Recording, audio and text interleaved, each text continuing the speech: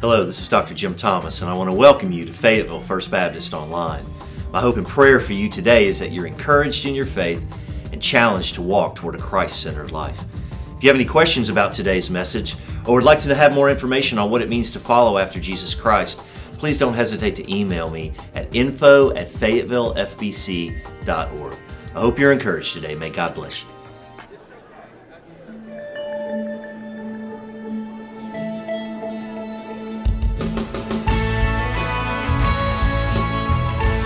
morning. We're so glad you guys are here.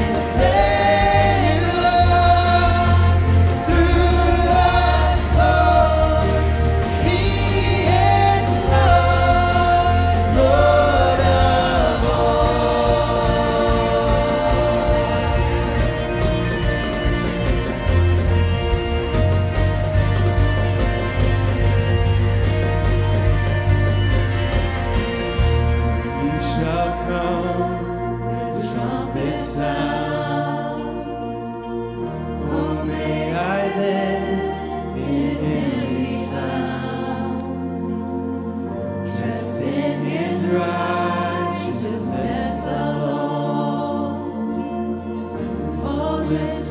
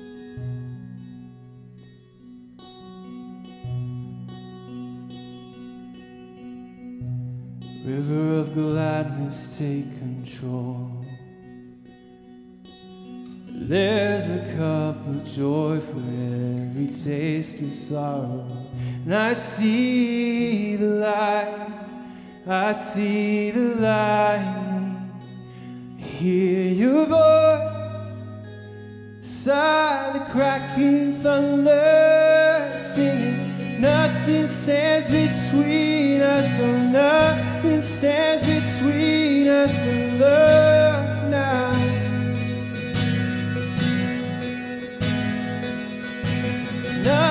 stands between us and nothing stands between us.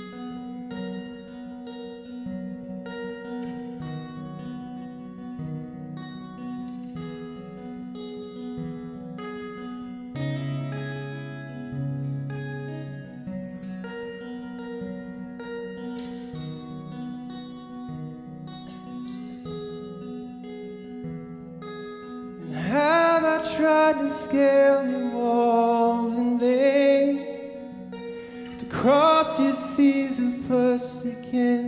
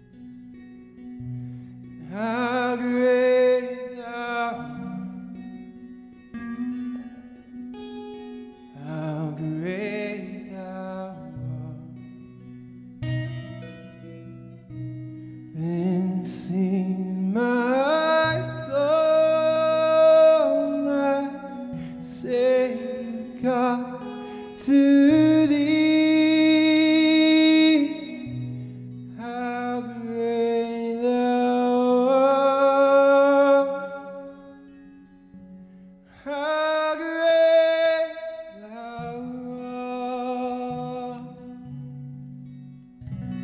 Amen. Good morning.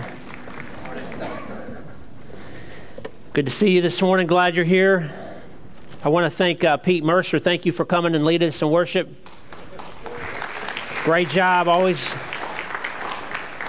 love to hear your heart shared through song. Uh, glad to step in. As Pastor Kurt had mentioned, uh, Pastor Jim knew he was having surgery last week ago, Monday, and so I knew I was on on tap to, to, to preach this, this Sunday, but he's doing well, as, as he said, and uh, they're, they're away at the, at the beach enjoying this Labor Day extended weekend. Uh, for those that you have kids in school, you know what I mean, uh, having Monday and Tuesday out. But glad you're here. Uh, so glad to have you here with us. And uh, in case you're new with us this morning, we just ended a four week sermon series entitled Thinking Christianly. It was about how to think like Jesus. It's the discipleship of our minds and how we think. The, the key truth there was how we think determines how we live. The end of discipleship of the mind is not ourselves, it's not about me. It is the action of learning how to love other people well. That is the goal of discipleship. And we have to be careful that we don't get caught up in a cul de sac of discipleship, if you will, that everything revolves around me, that it's all intake. Discipleship, at least Jesus' model of discipleship, is about building on ramps into other people's lives for us to invest in others. And that's what discipleship is. It's following Jesus and leading others to do the same. The end, of, uh, the end of discipleship is not about me. It's about making disciples who make disciples. Who make disciples, if you get my point. So if you're a Christ follower here this morning, then you're invited to be a part of this, and so am I. In Matthew chapter 22, verse 34 and following, Jesus was asked, What is the greatest commandment? We heard that a lot through the Thinking Christianly series, but Jesus replied and said, To love the Lord your God with all of your heart, with all of your soul, and with all of your. Y'all aren't awake yet. With all of your mind. That's right. That's why we talked about the Thinking Christianly series. And he went on to say this Jesus said, This is the first and greatest commandment, but the second is just like it to love your neighbor as yourself. And so this morning, I want to give you some practical ways in which you can apply this truth about loving your neighbor and how to do that effectively in the church as well as outside the four walls of this building. Now, you may be asking me a question just like Jesus was asked Who is my neighbor? Well, Jesus replied that with a couple of parables about the Good Samaritan. Let me just use a quick illustration for you. If you would, Take a look to the person at your right, if you will. Now turn and look to your left and look at the person on your left. Guess what? That's your neighbor, okay? And so is everyone else in this service, and so is everyone else in this church, and so is everyone else in this community, and really, in a sense, so is everyone else in the world. And so your neighbor is that person that God has placed in your life that you can be able to make an investing opportunity. And so the message that the Lord has placed upon my heart to share with you this morning is entitled Becoming a Welcoming Church. Becoming a Welcoming Church. would you say our church is a friendly, welcoming church? I would hope so. I agree with you. I think we are. I'd like to be very clear this morning to say that I feel that we are a very welcoming church to begin with my experience and my family's experience of Fayetteville First Baptist Church from the very day that we came here has been very warm, very friendly, very welcoming, very encouraging, very positive experience. You have loved us well. We have, been, we have felt welcome from the very first day. But does that mean that that's the same experience for everyone that comes into our church? The reality of that is no. Unfortunately, no matter how friendly and how welcoming we are, that is not the true reality of everyone who comes inside the four walls of this building. And though we are a very welcoming and warm church, I feel that we could always work on becoming an even more welcoming church than we are today. And you know what? That begins with the individual, it begins with me, and it begins with you. And frankly, that starts with us. Unless you're a guest with us today, I'm speaking to you, and I'm speaking to me. And if you are a guest with us today, as Pastor Kurt already welcomed you, we want to let you know that we're so glad you're here. Maybe this is your first time to worship with us at Fayetteville First Baptist Church. And if that's the case, we're so glad you're here. And I hope that you value a church that prioritizes being a welcoming church and doing that better. You heard the congregation say, Yeah, I mean, we all think we're probably pretty welcoming because we attend here, but I hope that that's been your experience. In fact, as Pastor Kurt alluded to, in the worship guide, there is a guest connections in there. If you would like, tear that out. Fill it out. Just give us a couple of a little bit of information from you and place it into the offering plate. I know that's already passed, so turn it into somebody as you leave. Bring it to me at the end of the service. And guess what? One of the jobs that I get to do every week on Monday morning is I love to respond to those those those guests. I send an email to every person, I try at least, to every person that fills out that guest connection that visits our church on Sunday to let them know that we're so glad you were here. I think that's important. If you took the time to fill out that guest connections, that tells me that you want to hear a response. And I think we owe you one. You know why we asked you to fill it out? Because we want to connect with you. In that worst, in that uh, first time guest email, I have in there every time a first time guest survey. We want to know how that we're doing at being a welcoming church. Now, we don't get a lot of them back. In fact, they're anonymous. You don't have to put your name, but they are anonymous, and we don't get a lot of them back. But it's very helpful for us to know how we're doing because we know we can do better. But we appreciate you being here this morning. And if you would, take the time and fill that out. But most importantly, you are important to us. And we're glad you're here. The sermon series or this message this morning is based out of a book by Tom Rainer entitled Becoming a Welcoming Church. Tom Rainer is the president and CEO of Lifeway Christian Resources. He is um, Actually, if you're going through the Bible Studies for Life Sunday school material right now, this was your Sunday school lesson this morning, and I'm going to hopefully build upon what you've already heard. But our focus passage of Scripture today is 1 Peter chapter 4, verses 8 through 11. So if you turn in your Bible with me to 1 Peter chapter 4, we're going to read verses 8 through 11. And while you're doing that, Tom Rainer did a survey. And he did a survey for first time guests in churches all over our country. And this morning, I want to share some results of that survey, not necessarily any specifically from our church, but churches just like us in our denomination. And I want to share those results with you today and how we can become a more welcoming church. If you would stand with me today, this morning, as we read 1 Peter chapter 4, verses 8 through 11.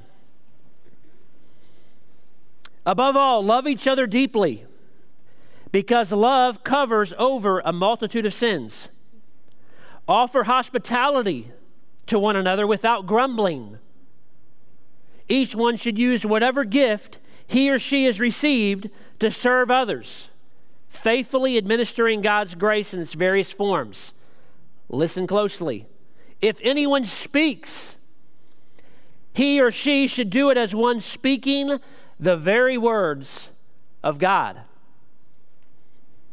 If anyone serves, he should do it with the strength that God provides, so that in all things God may be praised through Jesus Christ. To him be the glory and the power forever and ever. Amen. You may be seated. That passage of Scripture was written by Peter to challenge the church, to challenge the Christians of his day to be the people that God has called them to be. And he's calling, and that God is calling and speaking to you and to me today. That same message is very clear for how we need to be living and loving one another. The importance, number one in your notes, the importance of being a welcoming church. There's great importance, in case you weren't aware, that we be a welcoming church. Church is not about for me. Remember, Pastor Jim talked about some people might think of church as a Walmart to go and get everything that we can for ourselves, but really, the church is about how can I give? Not how can I get. Of course, we hope that you're here this morning and getting God's word this morning. You're getting fed, you're getting encouraged, that you're being challenged in God's word, and you're receiving His love and grace as we sang about and as we preach about. But at the same time, that's not an end in itself. We talked about that discipleship is not a cul de sac. God wants us to build, find opportunities to build on ramps for you now, that having received to now be able to give and to share what God has done in your life. So there is a great importance of, be, of being a welcoming church. Have you ever realized and thought about this that this morning, possibly this morning, someone is here today for the very first time? They might actually be here for the very first time to church, period. And so, therefore, today is their first impression of what God is all about. And guess how He's going to find out? From you, from the impression that you give Him and her.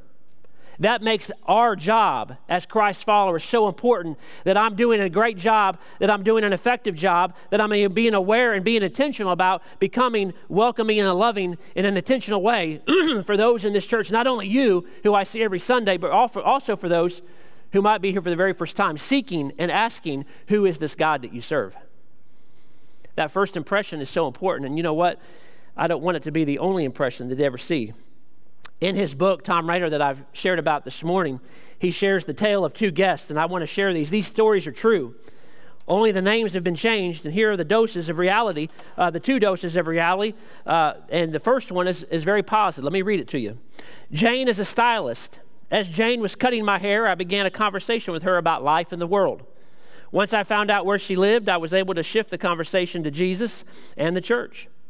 It's an opportunity where, you know, as Christ followers, don't miss out on opportunities as you're getting your hair cut or doing whatever God, you know, you're doing your routine of your day to find avenues to build on ramps into people's lives, to connect with them. And guess what happened? Indeed, I found out that she lived near my church where my son pastors.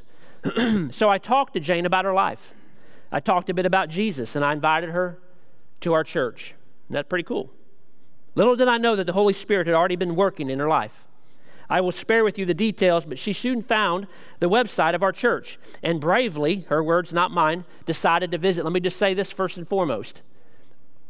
We live in a digital age, and a website is probably the first place that people go to when they're trying to check out a church. And so we try to do a very effective job, not that we have the greatest website of all things, but we try to do an effective job of keeping that thing up to date and important and keeping the things highlighted that we do because we live in a different age than when you and I were, were children.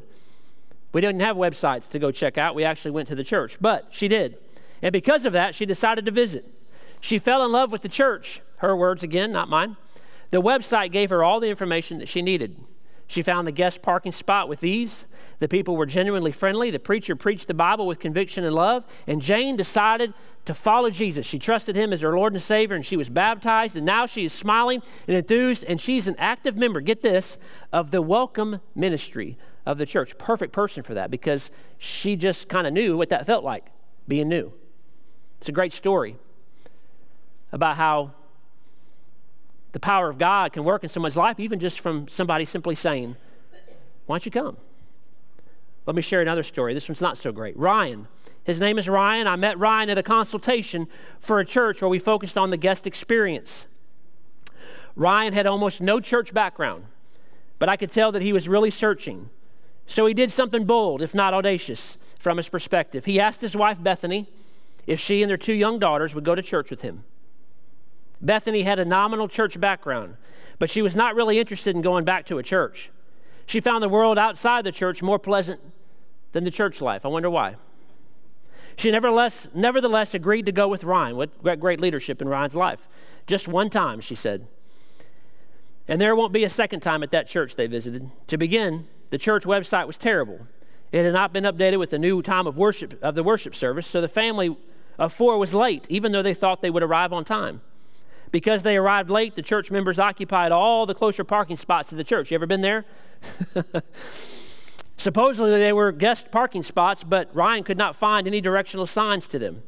When they arrived late, a couple at the front door, uh, a couple of the front door greeters spoke to them for at least two seconds. The two greeters then resumed their private conversation, obvious to the world and the people around them. And when they went to the children's area to check in with their two young daughters, disaster struck. The place was dirty, security was weak, and the person that met them complained because they were late. Bethany gave Ryan the look. it was not happy. It was not a happy look. It was not a good moment. I'm surprised they even went into the worship service at that point. They both realized that they had made a bad decision. By the way, when members of this church were asked, they consistently proclaimed that our church is very friendly. And you know what? They probably were to their own members and to the people that they knew best, and those who were on the inside and not the guests. This morning, I'd like for you, many of you here this morning, I know personally, are somewhat new to our church, but I'd like for you to put your thoughts and your feet into the shoes of what a first time guest might feel like in our church. I don't know about you, but maybe you've been here for years and years and years and you've forgotten how that feels. Or maybe you're a family who over the last 30 years have moved 20 times and all you know is being a first time guest at places but we have to put our shoes our, our ourselves in the shoes of what it feels like to be a first time guest because like we said this morning maybe today we're making a first impression for somebody not only about who the people of god are but who the god we serve is. And i think it's important that we do all that we can. Of course i am more interested in myself most often in times and so we have to do very intentional things to be thinking of others more naturally than I think of myself. This couple may never return to church again and may never give church a second chance. And my feeling is, is this we're responsible and I feel obligated to anybody who walks into four walls or the doors of this church to do all that we can to help them connect here. Once they leave or tell us they don't want to be contacted anymore, that's on them. But if they step inside the walls of these church, I believe my responsibility and your responsibility is to do all that we can because we don't know if they'll ever walk in the doors of another church again. And we have to take that as a priority to know what, what can we do as the people of God to connect and invest in their life for the hour or however so that they're here. And that's the importance of becoming a welcoming church to all, to all those who come. Churches perceive that they are a friendly church because members are friendly to one another. But they don't think about walking in the shoes of first time guests, as I've already mentioned. It's so important that we are a welcoming church. Why? Because most every Sunday, we might have a Jane or a Ryan sitting in our midst. And maybe you are that person today. And for the reason for us becoming a welcome church is not for us to look good, but for God to look good. What did this passage of scripture say here in first in 1 Peter chapter 4? It says, so that the things so that all things God may be, may be praised through Jesus Christ. To him be all the glory and all the power. I want God to get all the glory and all the praise for what he's doing in my life and in your life. And hopefully that should be reflected and showed in how we treat others. And how we treat our, one another too. Not just the visitors and not just our guests, and not those that, that, are, that are unsaved that might be in our congregation today, but how we treat one another is a reflection of the God that we serve. And it's also a witness and testimony to those who are looking about what being a Christ follower is all about. So it's so important that we're a welcoming church because God will receive all the glory for what he wants to do in and through our lives. So, two, number two, what does a welcoming church look like? We'll look back here at 1 Peter chapter 4 and verse 8. It says this Above all, love each other deeply because love covers over a multitude of sins. You know what? I used to not go to church. And I walked into a church one day and they accepted me. They decided that I was somebody worth make a connection with. And I'm glad they did. Because if I hadn't had that connection at that church, I don't know if I would have gone back. And I definitely wouldn't be standing here before you today sharing this message with you had they not. They loved me. Even though I was a lost and goofy 16 year old teenager that made a lot of bad choices and decisions. And I really kind of went because I saw a girl there that I thought was cute. And that's kind of why I went. I mean, I'll be honest, you know. But man, got, got a hold of my life because the people in that church, people in that church, in, the, in that, in that uh, youth ministry, in that youth group were different. And they received me. They loved me, man. They, they, they treated me like, you know, um, the way Jesus would have treated you know, me. Because you know what? None of us deserve, right? I don't deserve to be loved, but you know what? God, God loves us despite ourselves, right? Man, thank God. And you know what? We get to be the ambassadors. We get to now be the reflections of that same love to other people. Isn't that awesome? Man, I sure hope, I'm just saying a side note, if anybody ever comes in this church and does not dress like we are or does not look like we are, I hope that no one else in this church ever looks down upon them for that. They could be that Ryan and that Bethany or that Jane walking into that church today. We have a huge opportunity to make that first impression in their life about the God that we serve. I don't care if they come in cut off jeans and a whatever. I believe that we're responsible to love them and receive them and still proclaim the, the, truth of the gospel of Jesus Christ. But until God does the work in their heart and life, to whatever that might mean, it's our job to receive them and love them and speak the truth into their life. Is that right? I sure hope so. And I sure hope we're doing that. You know, like I said, I, I have felt nothing but love and encouragement and support from you as a family. This is a warm and friendly church, but I sure hope we can do that to every single soul that walks through the doors of this church. It's very, very important, but we need to love each other deeply. This passage of Scripture goes on to say, offer hospitality to one another without grumbling. You know, a lot of grumbling sometimes in church, you know. But sometimes we got to get our heart and mind on the right, right priorities. You know, and if, and if you don't feel like anybody else is doing what you should be doing, or you think, you know, you keep doing it. You be faithful to whatever it is that God has called you to do and how He's called you to do it in the life of the church. And if somebody else doesn't step up to help and serve, you know what? That's, that's on them.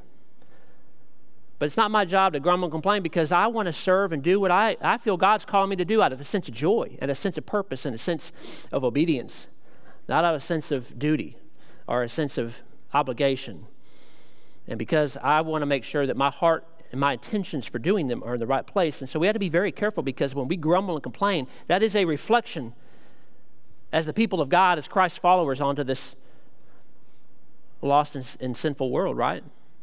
And so we need to be very careful to offer hospitality to one another. Hospitality is important. Each one should use whatever gift and, and use your God given gifts to serve one another. Our gifts that God's given us aren't to glorify ourselves, but to serve you, to serve one another. Every single one of you, if you're a Christ follower here today, has been gifted with spiritual gifts to be used in service for others, not for yourself, for others. I'm preaching to the choir, I know that, but I'm just encouraging to say that's what the church is. This is a beautiful picture painted in 1 Peter chapter 4 this morning about what the church should be like. Using your God given gifts to serve. And lastly, let your speech be edifying and encouraging to one another. You know, we've talked about the taming of the tongue, how the tongue is one of, I believe, the most powerful uh, muscles or whatever you want to call it in our whole body. And the words that we say to one another can be so tearing down or building up, and we can literally our tongues hold the power of life and death, in my, in my opinion. If we confess with your mouth that Jesus is Lord and believe in your heart that God raised from the dead, you will be saved. But with that same tongues, we can tear down our brothers and sisters in Christ, can't we? And it's a reflection to the world outside, or maybe even to those here this morning for the first time. I don't want anything to do with God because his people are not very good, loving people. Now, I know I'm a sinner, and I still sin every day. but that's no excuse for me not to be transformed as we sang the song from the inside out. For God to do a work as a Christ follower, guess what? The power, the, the, the, the presence of God lives in my life to do what? To conform me more to his image. And my life should be different. It should reflect the very things that we're talking about in 1 Peter chapter 4. My life, my speech should be glorifying and edifying to God. Man, we got to be careful, church. I'm just telling you this. I'm not speaking to anybody particular or to Fayetteville First Baptist Church in particular, but as Christians, man, we can really abuse each other with our tongues. And let's just not talk about the first time guest right now. Let's just talk about each other, man. If I'm getting torn down or uh, by, by another brother or sister in Christ or whatever that might be, I may not come back. Let alone a first time guest that just sees that, perceives that. Man, I just want to encourage each of us as brothers and sisters in Christ to filter everything. You know what I do? I filter everything through this thought. Is, is what I'm saying building them up or is it tearing them down? Is what I'm saying building myself up or is it building up the body of Christ? And that's a good filter. And you know what? I fail at it many times, but it's a good reminder for me every time I start to speak to somebody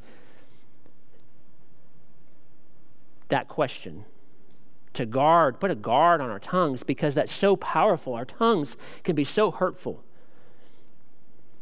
So, what is hospitality? The, the, you know, the Bible has many verses on hospitality. For example, Paul wrote to the church in Rome and simply said, Pursue hospitality. And Paul told Timothy and the leaders in the church must be hospitable and overseer uh, therefore must be above reproach, the husband of one wife, self controlled, sensible, respectable, hospitable, able to teach, not, to, uh, not an excess in drink. Uh, a, a, drinker, not a bully, but a gentle, gentle, not quarrelsome, not greedy. The Bible's word for hospitality literally means to love others or to love the stranger, that person we don't know not in your circle of, uh, of friends. It's only natural that we gravitate to people we know best and those who are like us. It's easier to interact with people with whom we share a common interest with or have a similar background with. The problem arises, though, and there's nothing wrong with that. But the problem arises, though, when those friendships drive us to overlook others or ignore them, or worse, show preferential treatment. In fact, just three pages back in my Bible, Jesus, I mean, uh, James speaks to this preferential treatment in James chapter 2. Let me just read it, chapter 2, verse 1 and following. He says this My brothers, as believers in our Lord Jesus Christ, don't show favoritism. Suppose a man comes into your meeting wearing a gold ring and fine clothes, and a poor man in shabby clothes also comes in. If you show special attention to the man wearing fine clothes and say, Hey, Here's a great seat for you, but you say to the poor man, You go sit over there or sit on the floor by my feet. Have you not discriminated among those you, yourselves and become judges with evil thoughts? Listen, my dear brothers, has not God chosen those who are poor in the eyes of the world to be rich in faith and inherit the kingdom he promised those who love him, who love him? But you have insulted the poor. Is it not the rich who are exploiting you? Are they not the ones who are dragging you into court? Are they not the ones who are slandering the noble name of him whom you belong? if you really keep the royal law found in Scripture, love your neighbor as, we, as yourself, you're doing right. But if you show favoritism, you sin and are convicted by the law as lawbreakers. We are called to love everyone, even the stranger. Obviously, look at the Good Samaritan, the parable that Jesus teach, taught. There may be some Ryans and some Janes and Bethanies in our worship time this morning. If you are, we're glad you're here. There may be some next Sunday. There may be some every Sunday we gather. And we are to be on our best behavior, not just today, but every day. Not when I say best behavior, we need to be who God called us to be. We need to be the people of God and act like the people of God. And today may be the first impression that we can give someone about what a Christ follower is and who this God that we serve is. Jesus said, By this everyone will know that you are my disciples if you love one another. Our graciousness and hospitality to those outside our circle of friends attract people to the gospel that we profess. Let me just say that again. Our graciousness and hospitality that we show to one another is what attracts people to the gospel of Jesus Christ. If I hate you and I show that I, uh, through my actions, uh, you know, that, uh, that, that I'm unloving towards you, then somebody's going to see that and say, I don't want anything to do with your God. I don't want anything to do with Christianity. Because that's not what God's called us to be. We are giving impressions to others of what the character of God is, and let's make sure that they are good and accurate impressions. And in fact, this is the Chick fil A model. They're not just selling chicken. I love their chicken sandwich, but they're not just selling chicken, they're selling hospitality. Within five miles of our church, you can go and get a chicken sandwich. Not today, Chick fil A, but, uh, and thank God for that. Praise God for that. Absolutely. But within five miles of our church, you can go get a chicken sandwich on tomorrow. Maybe, maybe not tomorrow, but well, yeah, tomorrow. Regardless. But people choose to go to Chick fil A. Why? Because when you walk in the door, it's their what? It's their pleasure to serve you. Where in the world do you go today and get that feeling that it's their pleasure to serve you. Now, you know what? I hope my children, when they get to the age of being able to work, go and get trained by those people and those owner operators because I want my children, no matter where they work, no matter what they do in life, to realize that it is a pleasure to serve someone else. It is a pleasure to serve someone else. No matter if you, whatever you do, you should serve with that heart mentality. And when you walk into the church, the church should be here because it is our pleasure to worship God, it's our pleasure to serve you, and it's our pleasure to have you.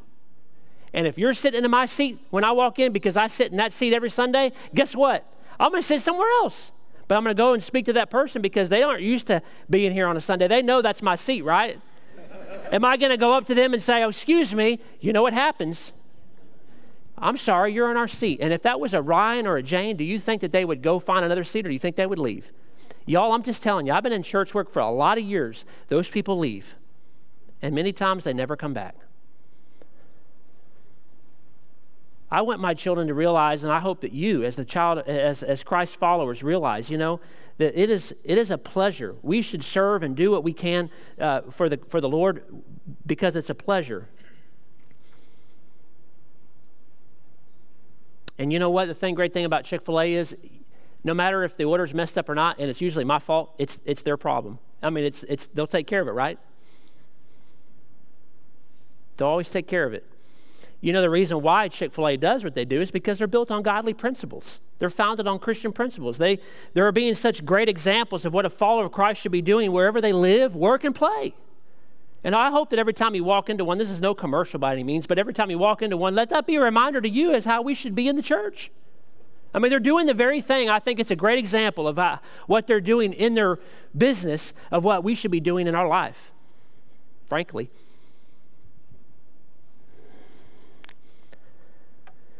We are not to only be loving the people inside the four walls of the church, but in the marketplace as well, and in the workplace, wherever you live, and in your neighborhoods. Our lives should serve as a welcome mat into the church. Our lives should serve as a welcome mat into the church. So, how can we become a more welcoming church? Let's move to the third point. Let's be practical. I'm pragmatic. It starts with the individual. Are you willing to do what it takes to be a welcoming, gospel centered church? It starts with us living out our lives as if Christ was living his life through us. It calls for us to surrender. In this book study, Tom Rainer took a survey. I mentioned that earlier of I don't know how many thousands of people who were first time guests in churches. And they definitely have a list of things not to do. But I want to share with you the things that were the positive, the top 10 positive responses from first time guests that were, that were great experiences. And so, and I've also included not only the top 10, but a, a quote from someone specific within this survey. Again, these are not from our church, but they could very well be associated. Number one, someone asked the guest to sit with her. Someone invited the guest to sit with him. And here's the quote You know, as a single person, I can feel pretty lonely sitting by myself. I'm so glad Joni asked me to sit with her. We plan to get together for coffee. You know, that's so important. Speak to the people who sit around you. I did that cheesy thing where you look to your left, look to your right. You know, sometimes we come into church and, you know, we're so focused and, and we forget that there's people around us to actually connect with and get to know them. If you regularly attend here, you should know the people who sit around you. You should know the people, hopefully, well enough to know if you don't recognize somebody, that that might mean they're a guest. And introduce yourself. And then if you, feel, if you meet people coming in, maybe through your Sunday school class or through the hallways, invite them to sit with you. And if you feel the Lord's prompting you, invite them to go to lunch with you. Number two, people introduce themselves to the guests. The quote, several people introduced themselves to me. I did not get the impression it was either contrived or routine. It was genuine, it was heartfelt. You know, we're a warm, friendly church, and that's what comes across. I, I lead our new member class, our next step class. And that's the overall consensus that I get is that our church has been very friendly, very welcoming. People have said, you know, we we were just so welcome. We've been, people speak to us. And I'll be honest with you, that's why they stayed. That's why they joined the church. Somebody spoke to us. Somebody invited us to Sunday school. Somebody cared about us enough to actually speak to us. And so if you get into the worship services early, I encourage you to Go around and mingle. I think it's great. When I get in here early, usually I teach late because I'm a long winded person, if you didn't know that. Um, but uh, I had Rock teach today, so we got early, got on time. But uh, get in here early and mingle, get to know people. If you don't know somebody, let that be an opportunity for you to engage and connect. You're already doing this. I said I'm preaching to the choir, but just in case you're not, we can always do better at this. Number three, there was clear signage in the church. From the parking lot to the children's area to the worship center, everything was clearly marked. It was, it was easy to navigate. You know, you and I, if you're a regular attender here, we don't need signs. We know where we're going. But if you're a first time guest, you have no idea. If you look at our church from out on the street, you got like the small, medium, and large, you know, sanctuary size, right? You don't know which one to go in. You don't know which door to go in. Which which place are they having the service at? So it's hard. So if you know if somebody that's coming to our church for the very first time, give them a specific designated spot that you're going to meet them. In fact, we have a guest connection center right out here in front of the library. But that's not the only place. In fact, it's probably the least trafficked place in our church. So we are planning, in fact, I'm preaching this just to say this is something we're intentionally doing at our church. We're adding two more guest connection centers here at our church at our other two major, probably more so, major entrances to our church. So when people walk in the door, our greeters do a great job of handshaking and welcoming, and many of them do a great job even knowing your names. It's awesome. But after they get past the greeters, they might not know where to go. And so those connection centers will be right there behind the greeters to be able to be hosts for you. And so if God has put that on your heart, just like we talked about with Jane in her testimony about how she's a part of that, if God has put on you, your heart, that you would like to be a host or a hostess at one of these guest connection centers on Sunday mornings, when somebody, a family or individual walks in for the first time, you get to have the pleasure of being able to host them and get them to where they need to go. Not just saying it's down the hall to your right, but you get to walk with them. But signage is so important, and it's important that we have clear signage. Number four, there was clearly marked Welcome Center. I just mentioned this. It made it really easy for me to ask questions and to get some information of the church. We, as I mentioned, are beginning to add a couple more of these, and we need to staff them, staff them with people like you who know our church well, who can smile, introduce yourself, and serve them. Number five, the kids love the children's area. My kids were so happy with their experiences. We will be back. We will be back for sure. You know, the children's and preschool and youth ministry areas are, the most crucial part of a first time guest experience. Now, a family, you know, maybe the parents didn't really have a good time, but man, if the kids do, oh man, we're going to definitely come back.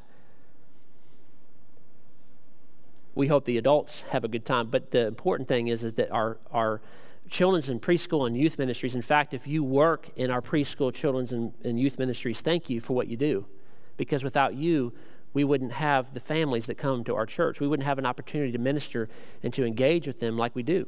So thank you for the sacrifices that you've made. Thank you for serving and using your God given gifts to do the things that you feel God leading you to do so that we can love on these children. We can love on these youth and make a difference in their life and help disciple them to be the men and women that God has called them to be. And I thank you for your work and your service and the sacrifice that you've made because your job is so crucial. And we want to do everything we can as a church to help you and support you and encourage you and do it all that we can to make sure that you have what you need to do your job well. Six, the children's area was secure and sanitary.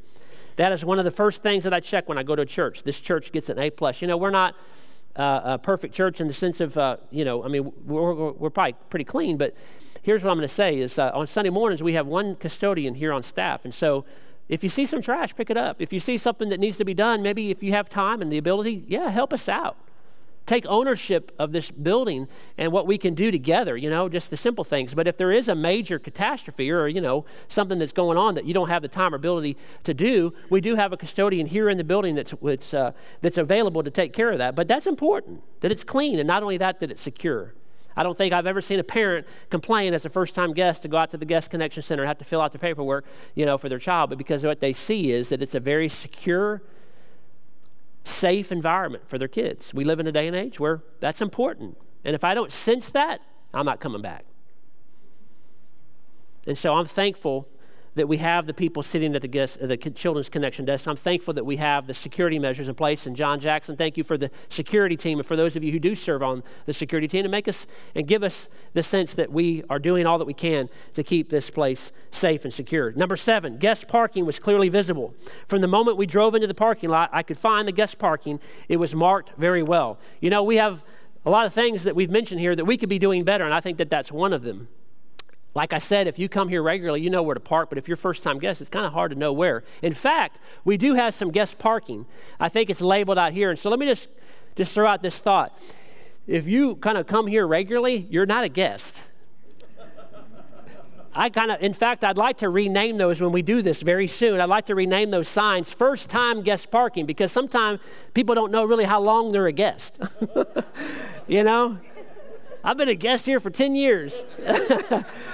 thanks for having those parking spots out there for me. No, man, if you know where you're going and this isn't your first time here, save those. And I know some of us need to have a closer parking spot. Of course, in the earlier service, um, they get here early and they get a lot of the good closer ones. But get here earlier and try to get a good parking. But I try, and as a staff, we've tried to park as far away as we can to free up. I mean, it'd be nice to park right outside the door, but we try to park as far away as we can. If you have the opportunity to do that, do that and sacrifice a close parking spot for those. But that's something we can do better. Is at least some signage in our parking lots. In fact, one of the things that we're trying to do as a part of this first impression team is what we're calling it, because that's what it is. It's a first impression team, is to have somebody in our parking lots as a part of this greeter first impression ministry, just pointing people where to go.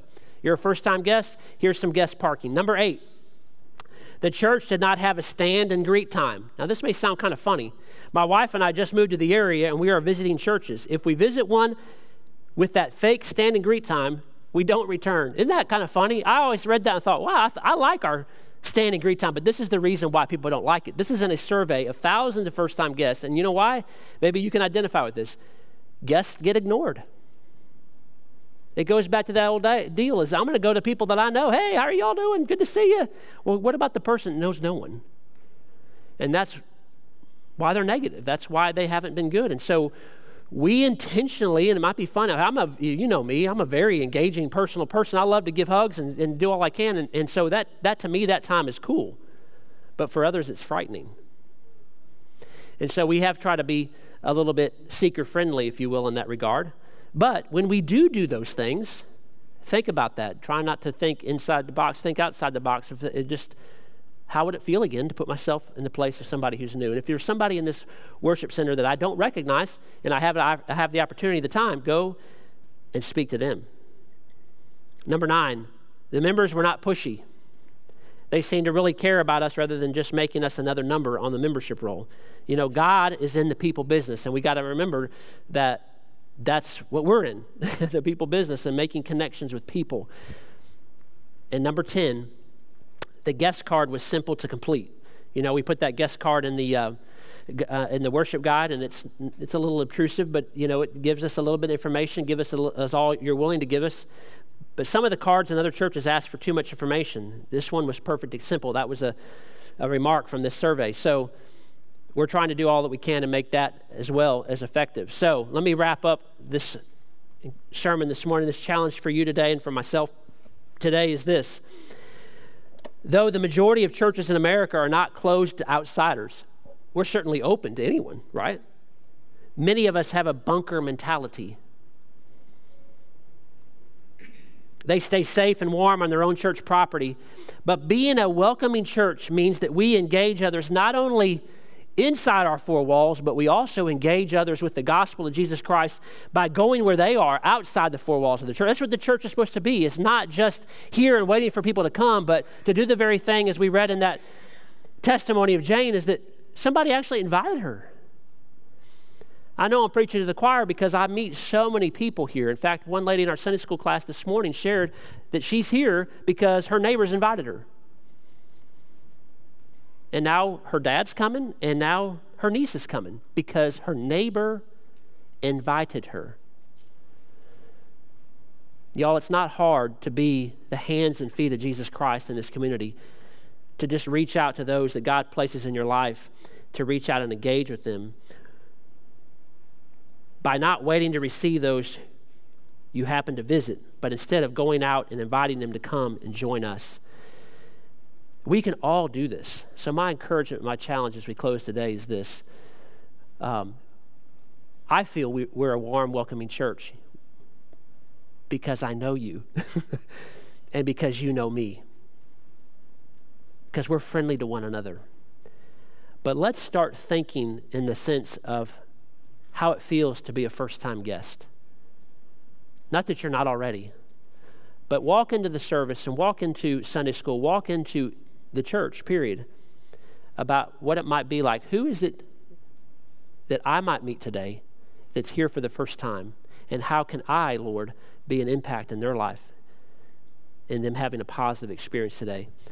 We are, like I said earlier, responsible, I believe, for everyone who walks through these doors and doing our best and putting our best foot forward of making the best connection we, we can. So that's my encouragement to you today. I hope that some of what I shared, this is what I'm trying to live out in my life. I'm not perfect at it, um, I'm passionate about it. But just like you, it doesn't take much to just engage and use your everyday opportunities that you're out and about in this community to build bridges and on ramps into people's lives.